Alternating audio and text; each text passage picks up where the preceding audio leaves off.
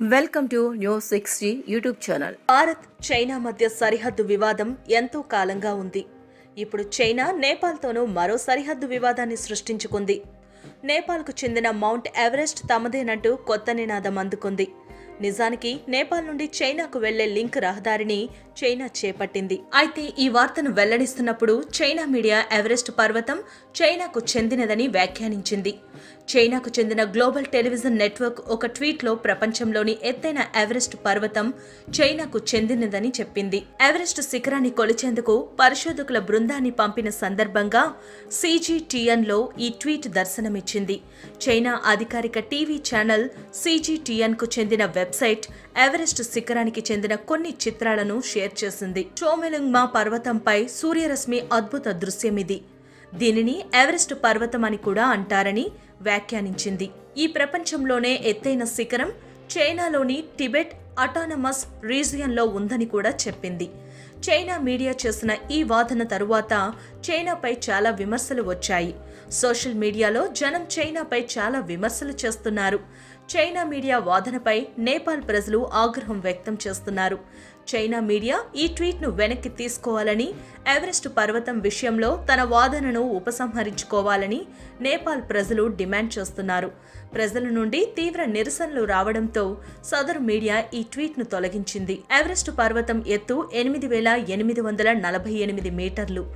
ఇది చైనా మరియు నేపాల్ రెండింటి సరిహద్దుల్లో ఉంది. ఎవరెస్ట్ శిఖరంపై ఫైవ్ జీ యాంటెనా అమర్చినట్లు చైనాకు చెందిన హువావే మొబైల్ కంపెనీ ఇటీవలే తెలిపింది. దీనిని ఆరు వేల ఐదు వందల మీటర్ల ఎత్తులో అమర్చామని తెలిపింది. ఎవరెస్టుపై ఐదు వేల ఎనిమిది వందల మీటర్ల వరకు బేస్ క్యాంపులు ఉన్నాయి. ఆరు వేల ఐదు వందల మీటర్ల వద్ద ఇటీవల కొత్త బేస్ క్యాంపును నిర్మించారు. ఫైవ్ జీ టవర్ను ఈ బేస్ క్యాంప్లోనే ఏర్పాటు చేశారు. దీంతో ఎవరెస్ట్పై వరకు ఫైవ్ జీ సిగ్నల్ అందుబాటులోకి వచ్చింది. ఫైవ్ జీ నెట్వర్క్ సేవలు పరిశోధకులకు పర్వతారోహకులకు కార్మికులకు ఉపయోగపడతాయని ఆపదలో ఉన్న వారిని రక్షించేందుకు సహాయపడుతుందని నిపుణులు అంటున్నారు. కాగా అత్యంత వేగవంతమైన డేటాతో పాటు ఎక్కువ నెట్వర్క్ సామర్థ్యాన్ని ఫైవ్ జీ కలిగి ఉంటుంది. అత్యంత క్వాలిటీ గల ఫైవ్ జీతో ఎక్కువ పరికరాలను కనెక్ట్ చేయవచ్చు. వర్చువల్ సమావేశాలకు ఇది ఎంతో మెరుగైన సేవలు అందిస్తోంది. ఎప్పటినుంచో ఊరిస్తున్న ఫైవ్ జీ సేవలను ప్రపంచంలోనే ఎత్తైన ఎవరెస్ట్ శిఖరంపై అందుబాటులోకి తెచ్చింది.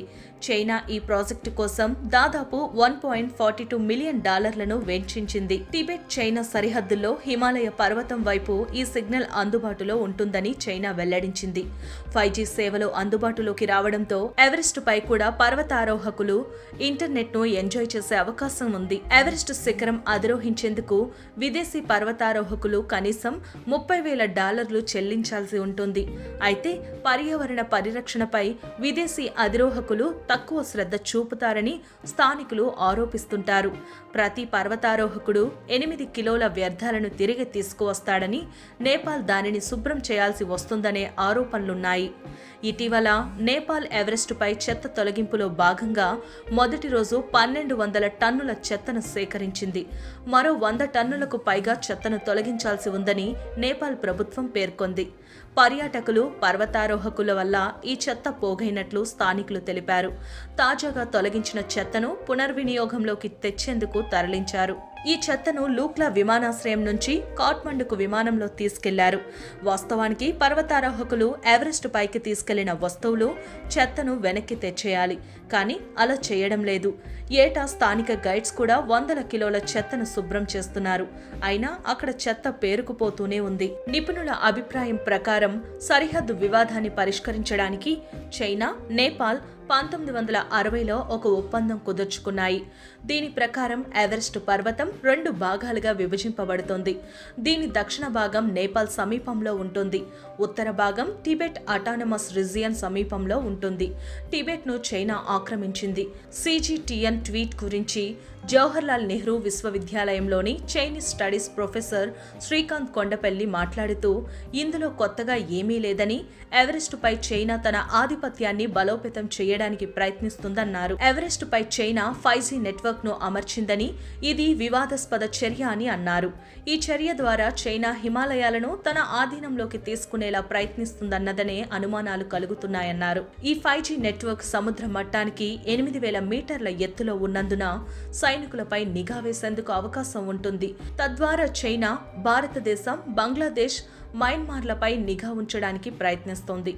రాబోయే రోజుల్లో హిమాలయ ప్రాంతంలో ఈ సాంకేతిక పరిజ్ఞానాన్ని అది సద్వినియోగం చేసుకోగలదన్నారు. ఎవరెస్ట్పై పర్యాటక కార్యకలాపాలను నేపాల్ చేపడుతుంటుంది. అయితే ఇప్పుడు టెక్నాలజీ సహాయంతో చైనా టిబెట్ వైపు ఉన్న ఎవరెస్ట్లో కొంత భాగాన్ని అభివృద్ధి చేస్తోంది. అధికారిక టీవీ ఛానల్ వెబ్సైట్లో ఎవరెస్ట్ను తమ సొంతమని ప్రకటించడం ద్వారా చైనా తన ప్రణాళికలను వెల్లడించింది. నేపాల్లో దీనికి వ్యతిరేకంగా నినాదాలు మొదలయ్యాయి. నేపాల్కు చెందిన విశ్లేషకుడు కనక్ మణి దీక్షిత్ తన అభిప్రాయం వ్యక్తం చేస్తూ చోమో లుంగ్మా సాగర్ మాత ఎవరెస్ట్లు నేపాల్ టిబెట్ చైనా మధ్య విభజితమై ఉన్నాయి. నేపాల్లో సాగర్ మాత అని టిబెట్లో చొమోలుంగ్మా అని పిలుస్తారని తెలిపారు. ప్రస్తుతం మహమ్మారి ప్రపంచాన్ని వణికిస్తోంది. ఈ నేపథ్యంలో ఎవరెస్ట్ శిఖరాన్ని అధిరోహించేందుకు విదేశీయులకు ఇప్పటికే అనుమతి నిరాకరించింది. అయితే చైనాకు చెందిన ఓ పర్వతారోహణ బృందం మాత్రం తమ ఎవరెస్ట్ యాత్రను మొదలుపెట్టింది. చైనా తన ఆధిపత్య పోకడలను ఇలాగే కొనసాగిస్తూ తన చుట్టుపక్కల దేశాలను విసుగు తెప్పిస్తూ ఉంది. దీనికి భారత్ అమెరికా రష్యా తదితర దేశాలు కలిసి చెక్ పెట్టకపోతే భవిష్యత్తులో అన్ని దేశాలకు ప్రమాదం తప్పదు అని నిపుణులు హెచ్చరిస్తున్నారు. ఈ అంశంపై మీ అభిప్రాయాన్ని కామెంట్ బాక్స్లో రాయండి. మా వీడియోలు మీకు నచ్చినట్లయితే వెంటనే లైక్ చేయండి కామెంట్ చేయండి మరియు షేర్ చేయండి.